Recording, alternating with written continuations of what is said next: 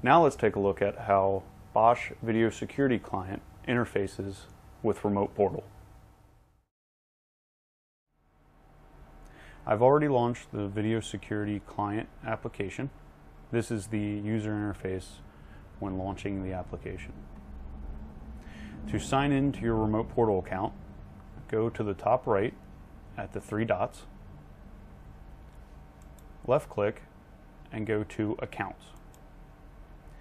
Here you can add an account and log in with your Bosch Remote Portal credentials. After doing so, click Done. You will then see all of your Remote Portal groups, systems, or sites down at the bottom. You can see any that have the Remote Portal symbol at the bottom are sites that are connected to Remote Portal. You can also view any of these sites in the map if they have an address attached to them. So there are two, way of, two ways of entering the site. You can simply go down to the bottom, hover over the site, and click on it to enter. Or you can go to the map, click on that site, and it will tell you what the site is, and then you can simply click the Log On to Site button.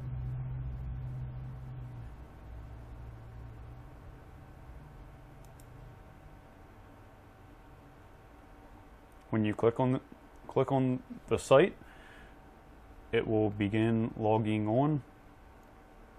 It will sometimes take a couple seconds to load the cameras. So now we are in the live video user interface. And as you can see, you can already see the last two cameras that I had pulled up. Over on the left is the camera tree, so you actually can see a live shot of each camera.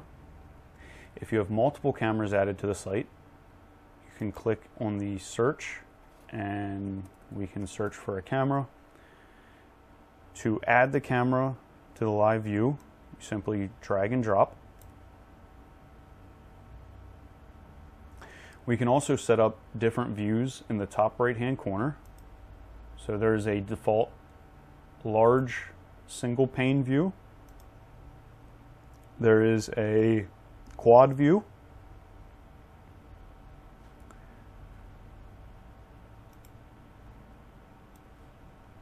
In a quad view, you need to drag cameras out. And then you can also set up custom views by going down and hitting edit. So I have a custom view where I am able to view up to eight cameras.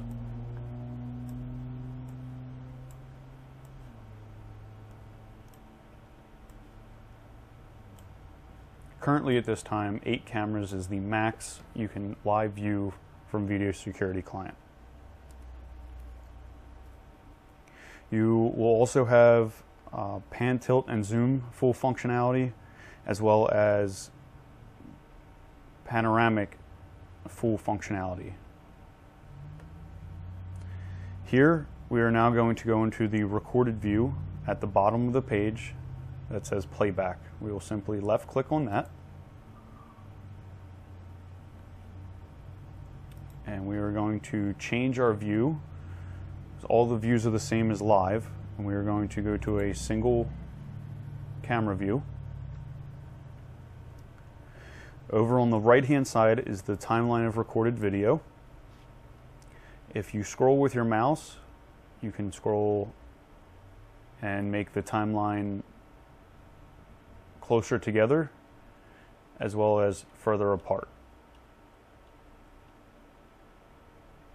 You can also go to the top and select 12 hours, 1 hour, and select the way you would like to look at your timeline that way. We're also going to come down to the bottom left hand corner where it says exports. We're going to left hand click. We can save a snapshot and export video. If there's any video that has been exported from this site, we can also view the progress of that video. The next tab at the bottom is forensics. So this is a very light forensic search. So if you are knowledgeable of BVMS and the forensic search functionality. It's very similar to that, except it is very a very very light version. Forensic search uses the analytics built inside the cameras and records the metadata beside the video. So if there are no analytics set up, we can always search after the fact of a particular rule. This saves an operator time when an incident has occurred and you're not sure when the incident happened. On the left hand side, you can choose all of the forensic search features that you would like to search for. So there's a simple motion search, a crossing the line search, an entering the field search, and a face search. This face search is only available on cameras that have facial detection, which is only the camera understanding that it is a person's face. Now, to exit the site, you go to the top left-hand corner and click on the door with the, with the arrow. Now we are out of that site. It is very simple to then go into another site if needed. A couple of things to mention here. There are no restrictions on how many sites you can have. However, there is a restriction on the amount of devices inside that site, and that restriction is 250 cameras per site.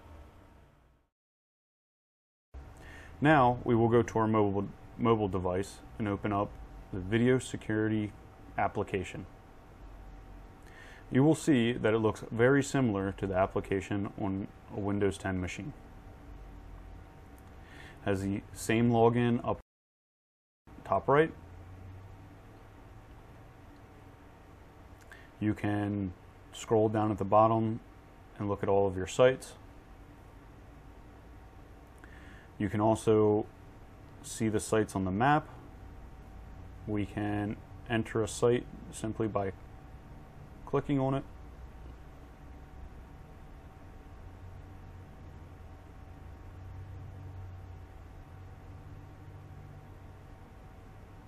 And just like the application on your computer, it's very easy to view video just by simply touching the camera that you would like to view. Down at the bottom, you have a full screen, your live, playback, and forensic tabs. These are all very similar to the application on Windows 10. Down at the bottom, there's the timeline, you can scroll left and right. Simply select the time of the video that you would wish to watch by simply clicking on it. You can scroll in and out of the time by simply using both fingers or thumbs. The next tab is the forensic search feature, which is very similar. You still have motion. The forensic search feature. The top left is how you would view all of your cameras if you wanted to pull multiple or a different camera out and you exit the application the exact same way up in the top left hand corner.